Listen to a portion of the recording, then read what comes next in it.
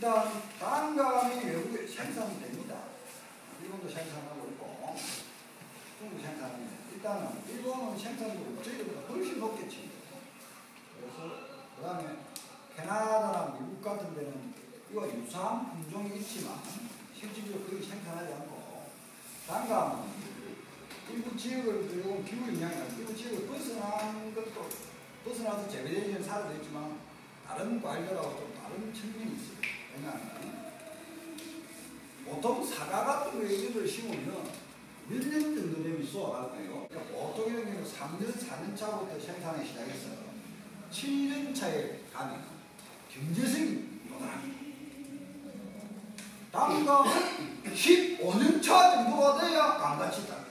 그래서 단감이 급격히 늘어나자는 것은 맹짧은 놈은 단감 심어놨다가 따기 전에. 괜찮은 말하면 거 맞죠? 영 짧은 사람은 제가 제가 제가 만나보면 오십니다. 단감 심어가지고 한참 수확할게 가지고 뒤진다는 거예요. 준다는 거예요.